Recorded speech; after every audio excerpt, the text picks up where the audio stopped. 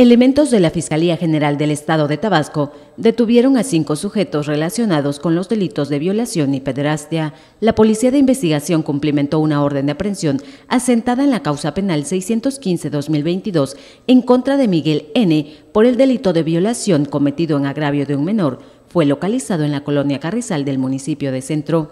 Por estar relacionados con distintos hechos de pederastia, fueron aprendidos cuatro sujetos en Villahermosa, Tacotalpa y Centla. A Enrique N., elementos de la Fiscalía lo detuvieron en la colonia Casablanca. Posteriormente, en esa misma demarcación, fue detenido Isidro Joshua N. Ambos fueron presentados ante el juez de control de la región 9.